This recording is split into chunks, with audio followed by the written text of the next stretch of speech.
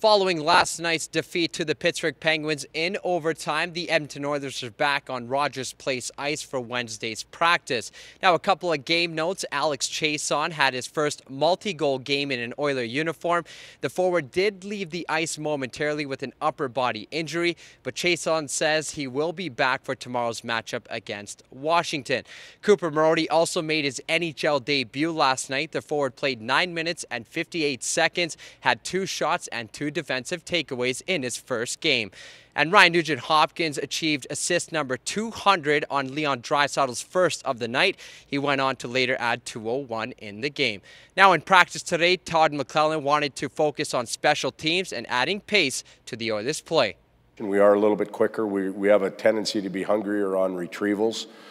So uh, when the puck does get to the net or, or happens to be uh, loose, we, we're a little hungrier, a little quicker to, to pounce on it. And um, all of that comes with confidence. All of that comes with working. Yeah, it's been good. Um, you know, I thought uh, we found ways to capitalize on our chances. I still think that we could, you know, be better in the zone. Um, and we seem to be scoring a little bit off the rush, which is, is good. I mean, power play is supposed to get goals, and, and, we've been finding a way to do that. But um, you know, needs to build momentum when uh, when pucks aren't going in the net either.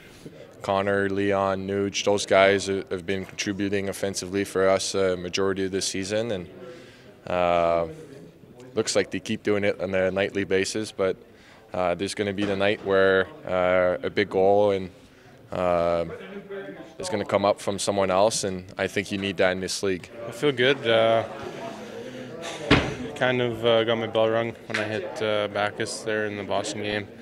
Um, but I mean, I feel good now. It was kind of a few days of, of minor symptoms, and then now I'm, I feel back to normal and um, good to get on the ice yesterday by myself, and then today back with the team.